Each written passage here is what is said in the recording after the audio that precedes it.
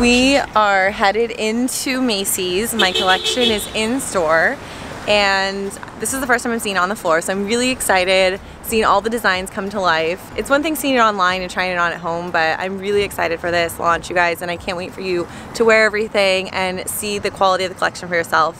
So the collection's in store at 11 Macy's and I'll put the list below but I would love if you guys would use the hashtag when you're in store and even in the dressing room on story so I can see it. How are you feeling? Nervous? Excited? Scared? Oh, I'm not really nervous because I don't have to say anything.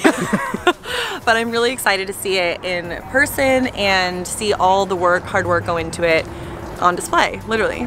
So, let's go. Now, Tomorrow. we are on the hunt. This place is kind of large. oh wait, right here. Here it is. Looks so cool. I love how they did the holiday setup and all the mannequins. All the mannequins, there's only two.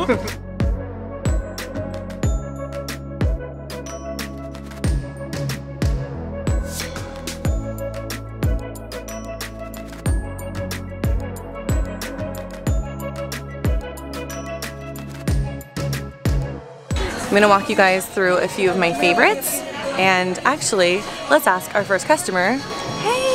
Oh! I didn't know you were coming here. Do I know you? Imagine.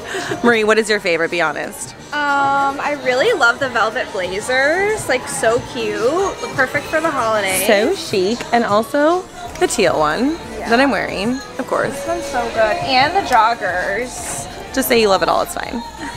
So this collection is very much Studio 54 meets Dynasty, as you can tell from the bold shoulders, the rich fabrics, and the jewel tones.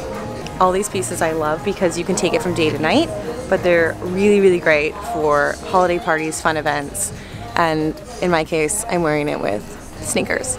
Okay, so if you can only pick two pieces, which pieces would those be? Mm, if I had to do, I would do the black blazer because I don't have a black blazer with really good shoulder pads right now and this one is amazing. Dress yourself up or down depending on if you wear it with jeans. The other thing, I would do a really chic top that you can tie different ways. Love this one.